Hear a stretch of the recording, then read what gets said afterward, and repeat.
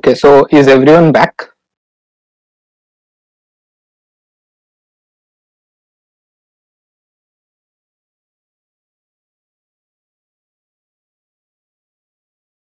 Yes. Okay.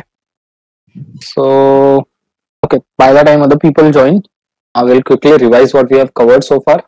So, started by creating uh, dictionary.py. We have where we basically defined a function called uh, meaning, and it will take a word, go scrape dictionary.cambridge.org, and then will return us part of speech as well as the meaning of the word.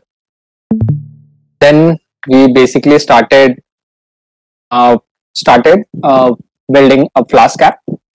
So yeah, we used a single route because we wanted to create a web app and uh, we are differentiating it by using two methods.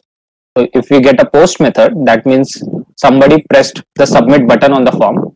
So we'll retrieve the word and see if it's present in cache.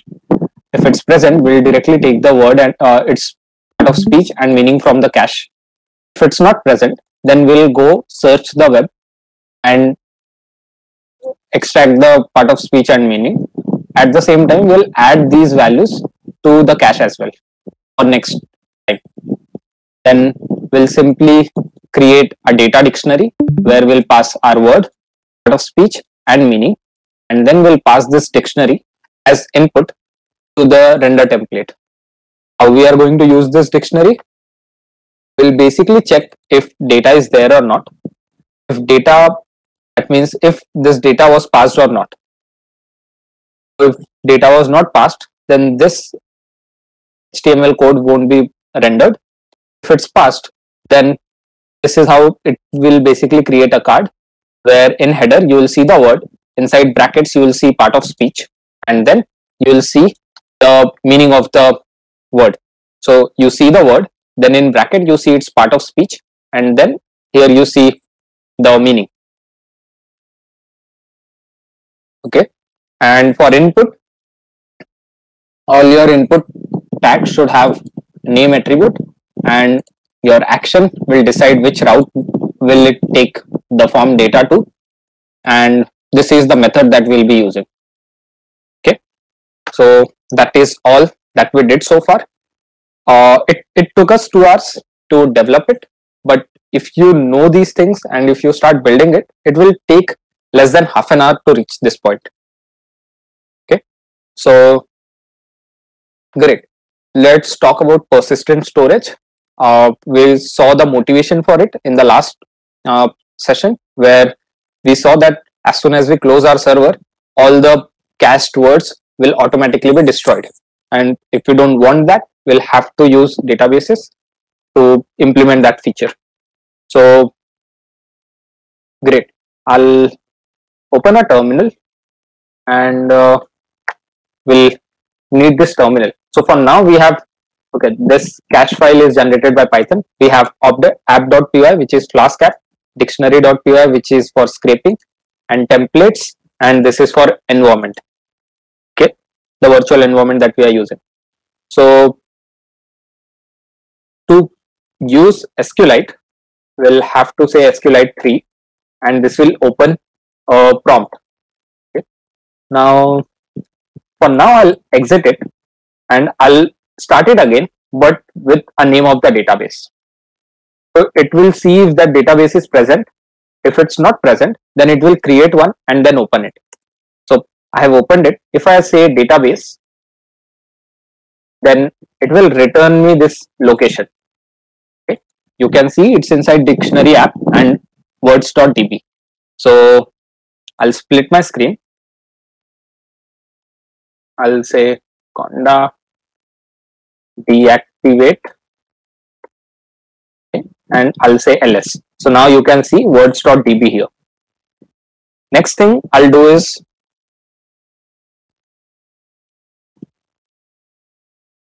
Mm, can you all see the screen? Is it readable? Yes. Okay. So we have created our database. Now let's check the tables. We don't have any table. So first thing we'll have to do is create a table. So I'll say create table and then we have to provide the name of the table that is words and then we'll have to specify what do we need so i'll say need a word which will be text this is basically data type of it and then i'll say this will this is going to be unique. And also this is going to be my primary key then i'll say i want i'll have another column called pos which is part of speech. Then it will be text. It won't be unique and it will not be a primary key. Next is i want meaning. This will again be text. And uh, yeah this will again be text then i'll close this thing and end with uh, semicolon. This is how you create table in sqlite. Now if you check tables you'll see there's a table called word. Now I can say select star from uh, words. It won't return anything because we don't have any record in our table. So let's add one record. So I'll this is the command insert into then the name of the table where we want to insert then I'll say values and inside brackets I'll pass all the values so I'll say random so there's a word called word called random and then this will be uh, a random thought means it is going to be a noun and then we want its meaning. So i'll say some random value. And i'll end this statement with a semicolon. This should insert a value. And if I go and select, I'll see all these values, random, noun, and it's not looking much, uh, it's not looking pretty. So I'll simply run a few commands, header dot on. This will mm-hmm. turn on the headers. That means now you will also see the headers. And next is I'll say mode is equal to column. And now if I select, so now you you will see it's organized in form of a table. So mode equal to mode column will make sure that it's it looks like a table. So we have one record in our table so far. Okay, this is how you create a table. This is so this is the command for creating a table. This is the command to query everything from the data or uh, from the table and this is a query to insert data to your table. So you always have to specify the table name because your database can have multiple tables. Now, if you're new to SQLite, I'll recommend uh, okay, I'll recommend reading this SQLite blog that uh, so again we had a seminar few months back where we talked about SQLite. So hmm, where is it? Where is it?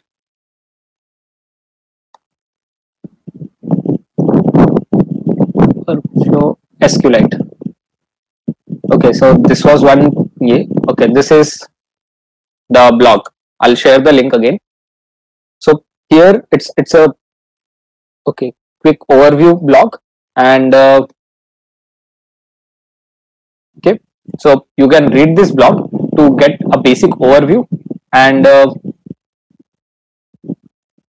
then in the last link you have this another blog which is quite long 13 minutes long but it will take you from the basics of SQLite to the advanced level stuff where you can do almost everything with SQLite so it will tell you how SQLite works. So I won't be talking about it in detail. Just for your awareness this is how it's done. Okay. So to understand SQLite in depth I'll recommend you read these two blogs and I'll share the link. Also there are some practice questions. So i think the blog should be complete in itself to teach you or get you started with sqlite uh, great. Now this is how sqlite works. Now you have realized that we started sqlite 3 as a program and then we uh, it basically gives you a prompt and you have to type all your queries here. But databases are extremely powerful because most of the databases sorry almost all of the databases will have interfaces to other programming languages. That means you can control or send queries to these databases using programming languages. So let's take an example of how we can do it using python. So i'll simply run a python interpreter. Here i'll have to first say import sqlite. Once i have imported sqlite 3 i'll simply say db is equal to sqlite 3 and then i'll say dot connect. That means basic connect to this database. What is the name of the database? words.db so since we didn't got any error that means the connection was established. Now to access like all you have to do is db dot execute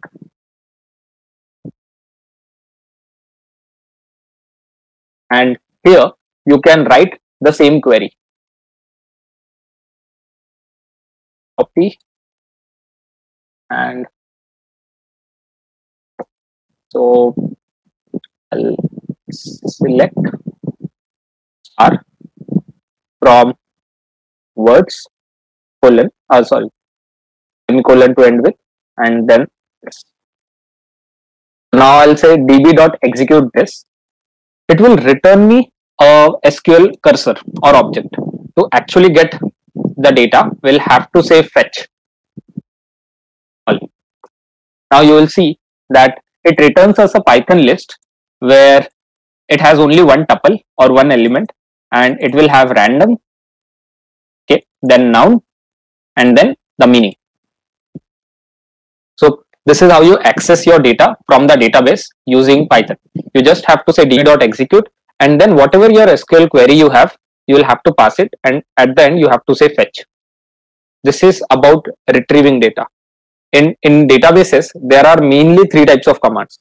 One is where you retrieve data or query type of things where you query some data from the database. Another is making changes to the database. That means data manipulation. Okay, that means performing some operation on the data. And third is inserting or uh, like adding some value to the database okay so if you want to retrieve something it's very easy. Just call this and call fetch all.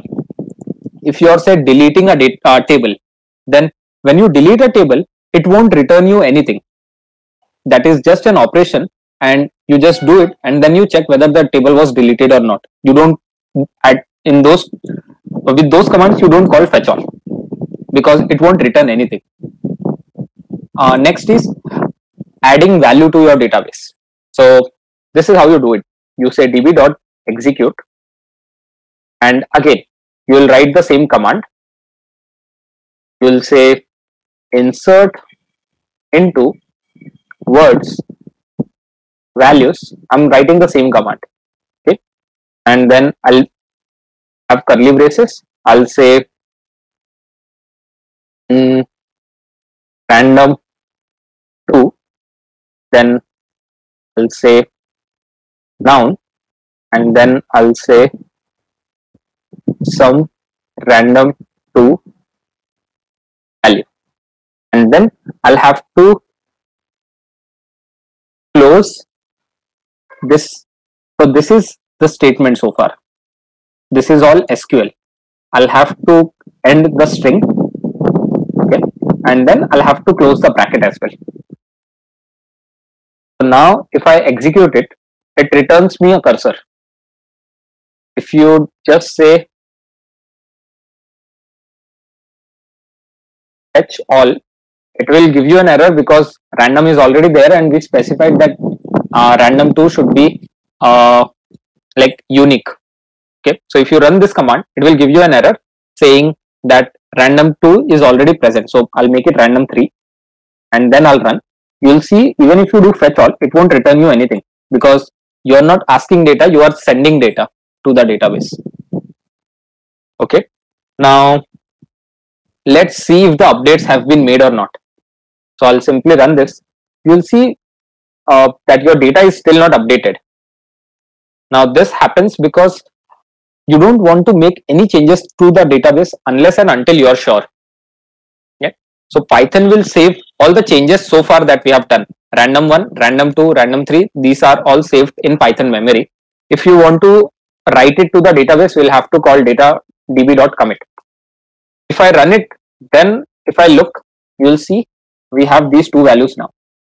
So db.commit is the most important part. If you don't do it, nothing is returned to the database. Okay, so db.commit is the most important statement. If you don't do it, uh, execute it, everything else uh, is like completely uh, wasted. Okay, because nothing was actually saved to the database. So yeah, this is how you basically connect. So this was a this side is SQLite this is how you basically call those same function using SQLite 3 module in Python. Okay. Now, this might look very simple, but now you can think of it. Uh, if somebody sends any data from the front end, say a new person creates an account, you will get the data and you will store it uh, in, in the database directly. There's no person sitting there. And Python code can call or insert something with very high uh, speed. That means it can write 1000 or 10,000 insert statements in just a couple of seconds. And no humans can do it. So databases, here the main advantage is the speed that you have when you uh, are allowed to use programming languages, when you allow programming languages to interact with the database. Okay you can do the same thing with excel but python and java can don't have much uh, flexibility or don't have much strong modules to interact with excel sheet. Okay? Uh, so yeah this this is immensely powerful. This might look like a very simple thing that we are able to achieve but this is immensely powerful because now you can have some server code running 24 7 allowing users to register. You can have 10,000 people registering every minute and like it will all be taken care of automatically. Okay? The, no person can write commands at this speed. So if you think a person will be sitting here and writing entering your username password and all those things that is not happening. Okay? So this is about databases. Great? So let's take this idea and integrate it with our uh, like with our application. So I'll say from SQLite 3, I'll say import SQLite 3 as SQL just to make life easy. Then I'll say db is equal to SQL dot connect and here I'll pass the name of the database which is words.db once I have this thing, I don't need this global dictionary.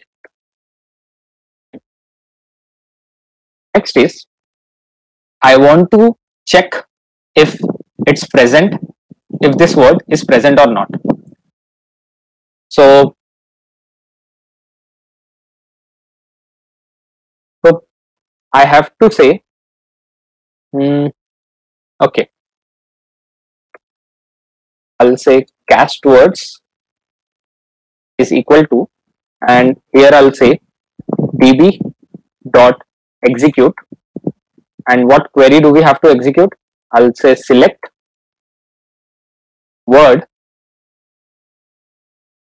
Mm. okay. So we'll directly try to access it. So I'll say I want part of speech and the meaning from words table where word is equal to where word is equal to basically my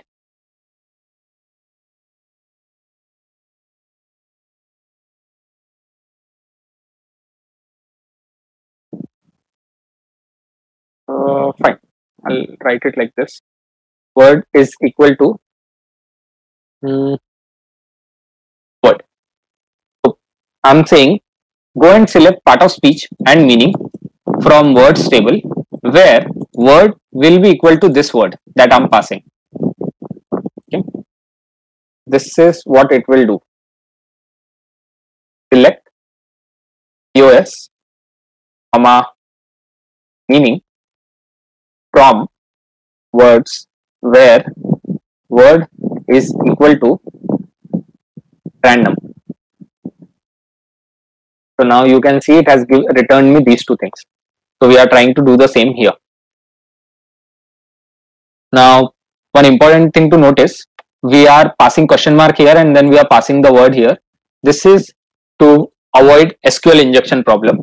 Don't worry a lot about it. If there's some Python variable that you want to use in the query, instead of that Python variable, you end up writing the, you end up writing question mark. Okay. So let's execute let's execute this thing to see if it's working properly. So my word will be random. And now let's paste it and check if it's working. Okay. So incorrect number of bindings.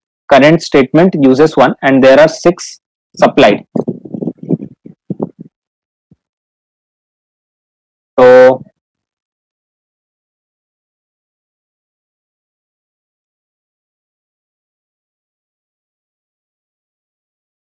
Okay.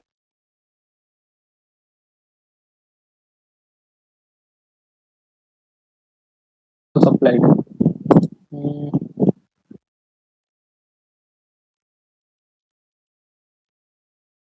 What is it? db.execute select select POS from words where word is equal to